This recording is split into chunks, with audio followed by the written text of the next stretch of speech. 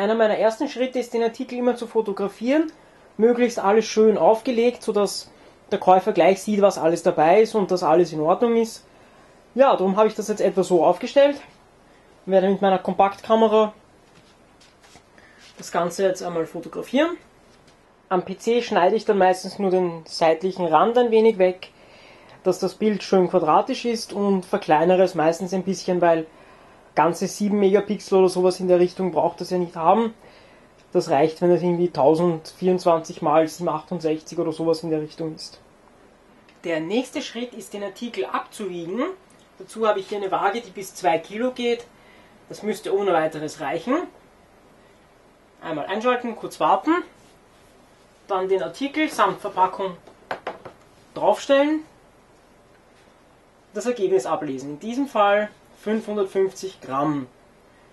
Das ist jetzt wichtig, dass wir auf Post.at gehen und auf Post.at das Zielland, zum Beispiel Österreich, eingeben und dann die Gramm bzw. Kilo bzw. ob es speziell versichert sein soll oder ähm, sonstige Informationen wie ja, es soll online verfolgbar sein oder einfach ganz normal, dann kann man das auch dort auswählen. Ja, nun geht's schon weiter. Ja, nun bin ich hier auf eBay.at, gehe auf Verkaufen, jetzt verkaufen und ähm, werde jetzt hier als Verkäufer begrüßt. Möchte gerne das reguläre Verkaufs. Das bietet jetzt hier noch nicht an. Gut, jetzt habe ich die Möglichkeit, hier den Strichcode einzugeben.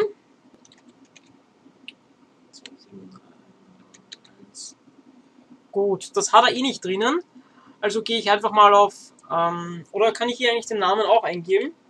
Was? USB? Nein, das kennt er nicht. Gut, ähm, wie auch immer, keine vorgeschlagenen Kategorien, passende Kategorie wählen. Also, es ist auf jeden Fall ein Computerzubehör. Es ist Computerzubehör, es ist eigentlich ein Eingabegerät. Es ist ein Joystick, passt. Weiter. So, Artikelbezeichnung. Dann fange ich meistens mit der Marke an. Also Speedlink. Könnte man jetzt mit oder ohne Abstand schreiben. Ich versuche jetzt die Zeichen zu sparen. Was kann man hier sogar ein Hoch 2 machen? USB.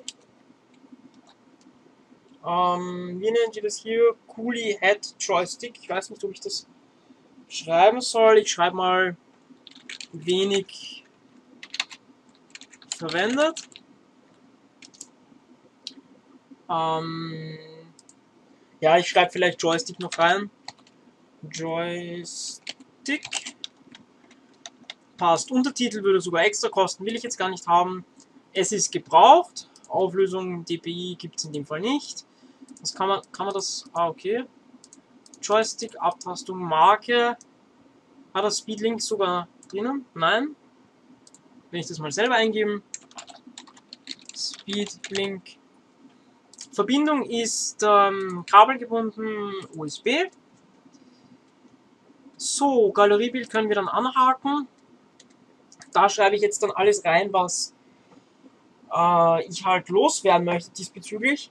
Meistens versuche ich einfach nur technisch die Details zusammenzufassen. Ich schreibe jetzt mal das rein und melde mich dann gleich nochmal.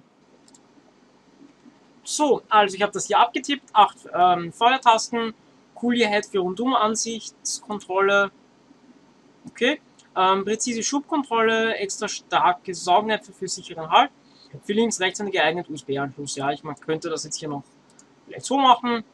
Artikel stammt aus Nichtraucher und tierfreiem Haushalt, schreibe ich halt immer rein, weil ich mir denke, ja, ähm, manchmal, wenn es vielleicht ein Nichtraucherkäufer ist, der möchte vielleicht nicht, dass das dann irgendwie möglicherweise nach Zigarettenrauch riecht, wie auch immer. Ich schreibe es halt rein. Und der nächste Satz ist wichtig, weil äh, dass man eben hinschreibt, dass man es nicht umtauschen oder eine Garantie dafür anbieten kann. Ich kann jetzt das nochmal von hier oben äh, herzeigen. Hier ist der Titel, Artikelzustand, Typ, Marke kann man auswählen oder reinschreiben, USB. Jetzt wähle ich das Foto aus Dazu einfach hier auf Durchsuchen, zu dem Foto hinwechseln. Man könnte hier sogar noch zuschneiden, drehen, äh, sogar automatische Belichtung und Kontrast und so weiter verändern. Ich lasse das einfach mal so. Ähm, jedes, also ein Bild ist kostenlos, das war, glaube ich, nicht immer so. Oh ja, ich glaube, ein Bild war immer gratis. Jedenfalls jedes weitere kostet dann 15 Cent. Man könnte sogar XXL-Foto anbieten, lassen sie sich natürlich auch zahlen. Aber ich gehe einfach mal auf Hochladen. Ja, also wie soll ich sagen, wegen den Gebühren, es ist jetzt ein bisschen schwierig zusammenzufassen. Wenn ich den Artikel einstelle, werden wir gleich sehen, was es mich kostet. Mit dem, mit dem Setup, mit der Zusammenstellung wird es mich nichts kosten. Sind nicht optimal. Die längste Breitseite muss mindestens wurscht, ich lasse das mal so. Ähm, also das, den Artikel einstellen kostet nichts, was dann kostet, sogar relativ viel, ist dann die Verkaufsprovision. Ich glaube, das sind circa 9% oder so. Also das schlägt sich bei größeren Artikeln dann schon wirklich, ähm, so, jetzt möchte ich das hier haben, schlägt sich, das ist nämlich auch kostenlos. Genau, das war früher, musste man das bezahlen, ein Galeriebild, also in der Liste hier ein Foto. Jetzt ist es eben gratis dabei. Ähm, Galerie Plus, ja gut, das brauche ich nicht, kostet einen Euro. Ähm, ja, eigentlich, meistens schreibe ich dann noch eine Zeile über den Zustand. Der Artikel ist wenig gebraucht in gutem Zustand. Manchmal traue ich mich neuwertig zu schreiben, aber das Ding ist jetzt wirklich schon etwas älter, darum möchte ich das gar nicht schreiben. Manchmal schreibe ich noch rein, ob er getestet oder nicht getestet ist. In dem Fall möchte ich eigentlich weder das eine noch das andere schreiben, weil er funktioniert meiner Meinung nach. Extra probiert habe ich es nicht, aber gut, lassen wir das mal so. Man könnte noch so ein Thema, ähm, das kostet eben auch wieder extra, gut 20 Cent, nicht so viel. Ein reguläres ähm, Besucherzähler, regulärer Besucherzähler ist hier ausgewählt. Das war's. Startpreis möchte ich einen Euro haben. Und äh, Stückzahl habe ich nur ein Stück. Könnte man, glaube ich, mehrere reinschreiben, so ich weiß. Gut, Angebotsdauer gibt es einen Tag bis zehn Tage. Ich nehme in dem Fall sieben Tage, damit das wieder am Wochenende zu Ende ist. PayPal könnte man anbieten, möchte ich jetzt nicht machen. Überweisung, Überweisung Plus passt, sonstige Artikelbeschreibung. Genau. Und äh, jetzt kommen wir auch schon zu den Versandkosten. Die Versandkosten trägt der Käufer. Die werden natürlich vorher angeführt. Ähm, ich nehme da meistens versicherter Versand, also, also als Paket ähm, können vor Ort abholen. Meistens nehme ich zwei Tage und gehen hier auf Tarifrechner 550 Gramm nach Österreich. Äh, so, das wird also ungefähr so aussehen. Äh, das will ich nicht. Verfolgbar, ja, versichert. Ja, ich meine, hier geht es um ein paar Euro, das könnte man auf Nein stellen, aber ich mache es mal so und gehe auf Preis berechnen. Das werden jetzt um die 5 Euro sein, genau, 4,30 Euro. Darum stelle ich das hier auf ähm, 5 Euro, weil es heißt ja eigentlich Verpackung und Versand.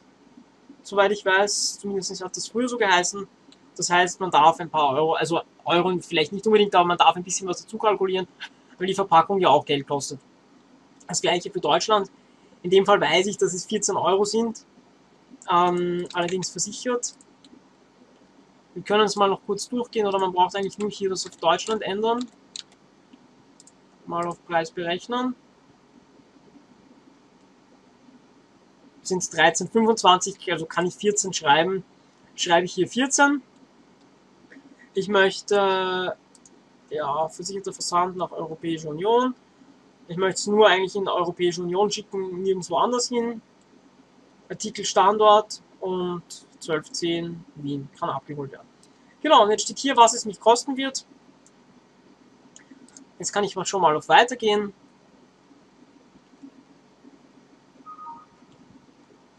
Jetzt könnte man noch ein Galeriebild Plus oder Untertitel dazu nehmen.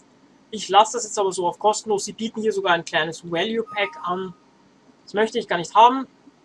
So wird das dann aussehen. Ähm, hier stehen auch gleich die Versandkosten in der Liste dann. Akzeptieren mögliche Verkaufschancen, bieten Sie Rücknahme an. Nein, das möchte ich nicht. Genau, und jetzt steht hier alles kostenlos 0 Euro. Aktueller Kontostand, bevor genau. So, und jetzt gehe ich einfach auf Artikel einstellen. Man könnte sogar noch auf Vorschau gehen, aber ich habe jetzt das schon mal eingestellt und kann mir das jetzt eigentlich hier sogar schon mal durchschauen. Sieben Tage, das passt, ein Euro passt, das Foto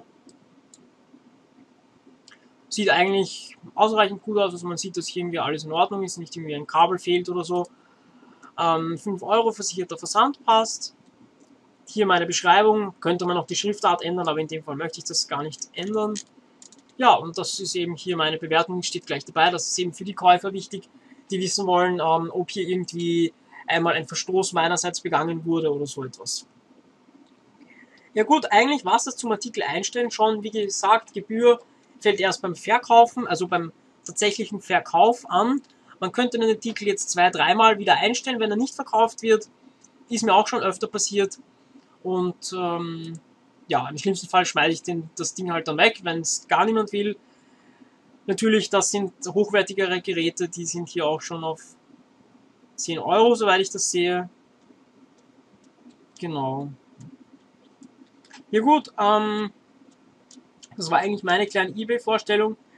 Hier ist auch schon mein Ding. Natürlich jemand, der so das Foto nicht anzeigen lässt, geht halt ein bisschen unter, weil auf sowas klickt man leichter, als wenn man hier irgendwie nur diese eine Zeile hat. Aber das muss man halt wissen, dass das sinnvoll ist. Und ja, also man könnte sich hier zum Beispiel noch ein anderes anschauen, um zu sehen, wie das die anderen machen. Ähm, ja, der schreibt das hier auch nur relativ kurz hinein. Nur ergonomisch geformt. Der hat sogar noch einen seriellen Anschluss. Auch lustig zu sehen. Ja, also, soweit eigentlich dazu. Der hat zum Beispiel auch 100% Bewertungen, 100% positiv. Das war es eigentlich auch schon. Also, wie gesagt, die Vorbereitung ist zu überlegen, was schreibe ich rein, wie mache ich das Foto und was kostet der Versand. Und das war's eigentlich. Ja, ich hoffe, ich habe dem einen oder anderen geholfen. Wünsche noch einen schönen Tag. Bis bald. Pülli out.